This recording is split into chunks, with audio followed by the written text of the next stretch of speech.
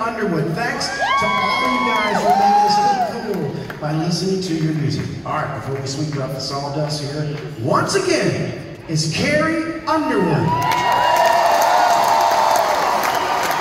Thank you so much. So one of the uh, the most special things about getting to play at the Opry, um, it's not just the music, uh, but it's the people that you get to hang out with while you're here. And as an artist, it's just uh, you can have some really cool moments that can't be duplicated anywhere else.